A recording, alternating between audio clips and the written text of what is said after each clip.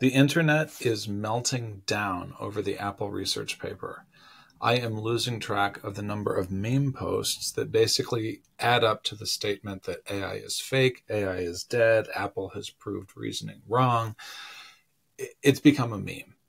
And I am begging everybody to sit down, to read the paper, to understand what Apple is actually claiming, and to understand where it actually meets the road in terms of systems design for AI systems because it is not nearly as dramatic a paper as people are trying to make out. First, if you haven't read it, I'm going to give you a quick TLDR on what Apple actually did. Apple's research team wanted to test whether reasoning language models actually reason. And I want to be very precise here. They did not use multiple pass models, they did not use big, uh, long inference time models. Uh, they did not want to burn a lot of tokens, and they did not use the open source Claude released reasoning trace framework that Anthropic released. I think I said that badly, but basically, Anthropic released a reasoning trace framework. And you can use it to actually trace thoughts through an LLM. It's super cool. It's very new. This paper was written before that. So they didn't use it. Instead, they used uh, the model's stated chain of thought as a way of tracing reasoning and determining reliability. I could have told them model stated chain of thought is a somewhat iffy relationship to model performance, but here we are. We're testing it anyway. They took four different models, uh, one from Claude, Gemini, DeepSeek, and OpenAI's O3 Mini. Again, this is all about model timing. They're using smaller models, um, and they did not use like the Frontier O3 model from OpenAI. They did not use 2.5 Pro, from Gemini. Uh, they seemed to deliberately be wanting to test chain of thought versus long inference time, and those are different things.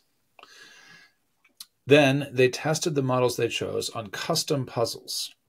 They weren't allowed to Google search, they weren't allowed to use Python, they were not given any tools at all. It would be like giving a human an exam and no pencil, no paper, no calculator, no tool use whatsoever. Just the model and a token budget for thinking. They wanted to make the puzzles they chose something that would not be heavily trained on, so that the models wouldn't have memorized the answer through pattern association. And they wanted to make it something that they could dial the complexity on.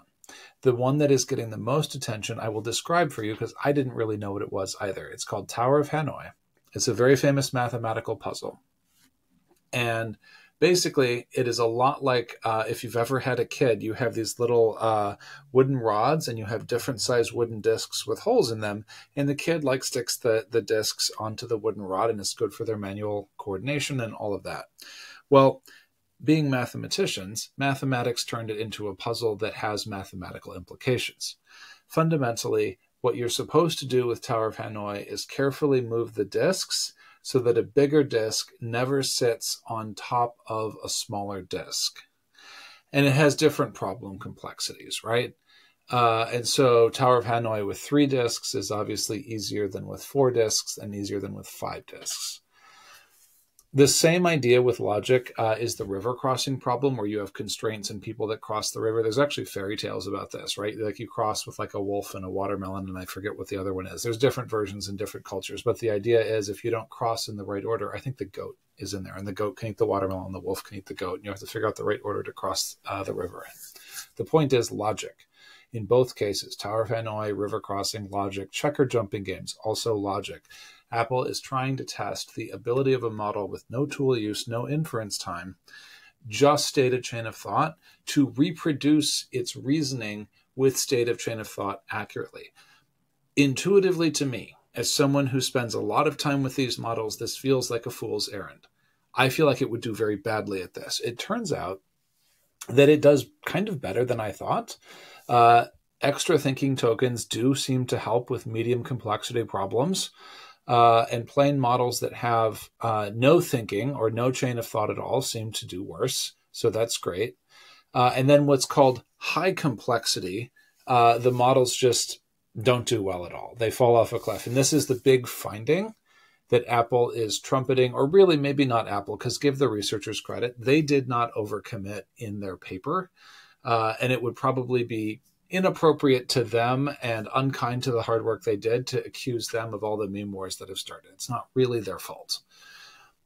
But what people are saying from their work is that this cliff that they discovered around high complexity problems means that AI is useless.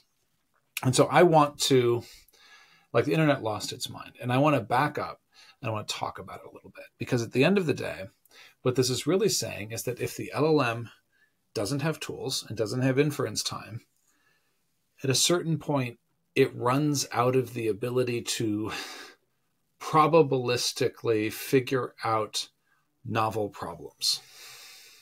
Okay. I also do that. One of the really sh- sort of sharp takes I, I, saw on X was someone saying most of my uni- University of Michigan graduate students seem to use uh, non logical thinking and lots of pattern matching as well. So I don't know why this is a particularly novel thought because humans do this too.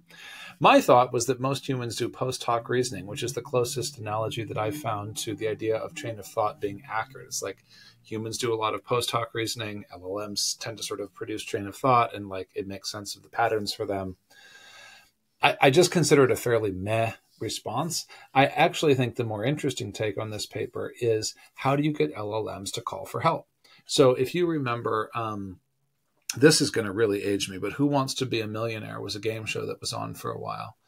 And one of the things you could do is call for help. And that is obviously other other game shows do this too. I know Who Wants to Be a Millionaire is not the only one. Um, but but the concept is basically if you're at the end of your lifeline and you don't have a way to figure out the problem, call for help. I think that is actually the most practical and useful takeaway for AI systems builders out of this Apple paper. Basically, there are definitely going to be applications where you want no inference time and you want minimal tool use because those add expense and they add time. And in cases where you don't have a lot of time and expense to burn, you kind of need your models to perform well without those things. So, as an example, a customer service bot on the phone, low latency is of the essence. You can't burn a minute and a half of thinking time, it doesn't work if you're flagging fraud on a transaction, you have uh, very, very little time to make the fraud decision after the card is submitted. So, does this matter? It absolutely does matter in that sense. There will be times when LLMs need to be able to make good decisions and they won't have tool use and they won't have inference. And the Apple paper squarely applies. In those situations, you want the LLM to know when to call for help, just like the game show. You want them to know now is the time to get a bigger model involved and then gracefully handle the continuation. Maybe that looks like the customer service chatbot keeping the customer on the phone for a second with an innocuous question while the LLM reasons in the background. Maybe that looks like the transaction saying, hmm, it's taking a little longer than usual and spinning the disk a bit. There are lots of ways to be graceful about this. But the key insight is that right now, LLMs don't have a super standard, understood, accepted uh, framework for calling for help when they run into difficult situations. And if we want multi agent systems to succeed, we need to have trigger points that we all understand how to implement, a defined framework, if you will, for trigger points so that we understand when an LLM hits a certain complexity threshold and it is very unlikely to succeed given the parameters of that model, given the testing done on that model, given the latency requirements, given the lack of tools, given the lack of inference time, then we go and ask for help. And right now i feel like a lot of that is being done on sort of a best effort basis by teams designing systems and i would love it if we as a community came together to actually work on some systems thinking around when it makes sense to have a lifeline to call for help not necessarily even to a human to a smarter model a model with python a model with inference time a model that can figure out the problem. Because I will tell you, if you give the same problems, the Tower of Hanoi, the river crossing, if you give the uh, checkers problems to models that have tools and inference time and internet access, they can solve them. Just like if you give graduate students more tools, they can solve better problems. We humans are tool users, and it's actually not a surprise. It's very well known that LLMs, sort of like humans, do better with tool use. So when you have a task that is more expensive, if we have a defined framework for that, you can go get the expensive model to solve the hard edge case. Imagine a world where the low latency uh, tiny model can answer 98% of customer queries, and then 2% of the time it has to go call upstairs to the smart model and have the smart model sort it out. We need a framework so that we all understand what the triggers are for calling upstairs for help. And I think that is one of the most applicable takeaways. I do not think it is helpful to run around saying that reasoning doesn't work. Oh my gosh.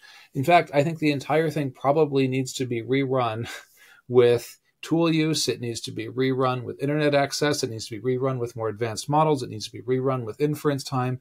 It needs to be rerun with the reasoning trace framework that Anthropic released. And if someone says, hey, that's pretty expensive, my answer is, hey, Apple's sitting on a lot of cash. They can afford to do this test if they really care about it. And I actually think that if AI is going to be transformative to society, it's probably worth budgeting for a little bit of experimentation to understand how these models reason, because it's pretty hard to solve for alignment with these models if we can't figure out how they reason. So to me, this feels like money well spent. And so I don't mind that they produce the paper. I certainly don't want to attack them. I think more work in this area is better. I think there's practical takeaways, and I think the internet lost its gosh darn mind and needs to settle down. That's my take.